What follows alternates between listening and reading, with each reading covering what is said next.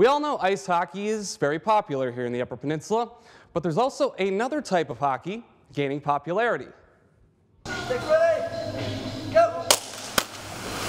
You might not be familiar with underwater hockey, but the sport has actually been around for quite a while. Underwater hockey was actually developed in the mid 50s. It was actually by some British divers that uh, were looking for another way to stay fit during the off season when they couldn't do any scuba diving.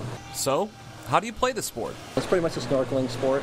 You know, we play the bottom of the pool, all right, with a, it's a, it's a, uh, a weighted lead puck. Sticks are about 12 inches long, and you have two teams of six people on each team. And it's just a matter of using snorkeling skills to get on the bottom of the pool, move the puck around. Underwater hockey is a sport anyone can play. In Marquette, weekly games are held at NMU's Peace Pool.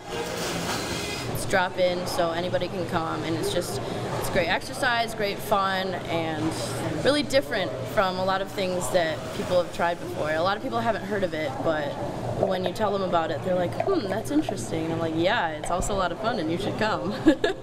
if you have very poor fitness or you have absolutely fantastic fitness, it you can find a spot in the game where you can participate. Unlike most sports, where you either have to have a very strong muscle build or a very good cardio. In this sport, anybody can play. As the Underwater Hockey Club in Marquette continues to build, the group hopes to travel and play other teams. Right now, we've got eight to ten members that consistently come.